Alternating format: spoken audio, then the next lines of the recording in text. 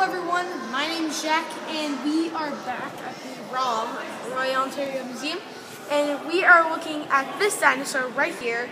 Um, I'm probably butcher his name is Pachycephalosaur. I can't say it.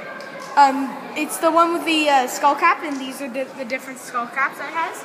And this um, this dinosaur was was um, it actually has a Pokemon version of it. Sorry, and this dinosaur has a Pokemon version of it. Of it, it is called Cranidos. Um, some features it has the skull cap and all that stuff, and it can ram through walls. So we are wrong, and don't forget to subscribe, subscribe, and see you later. Bye.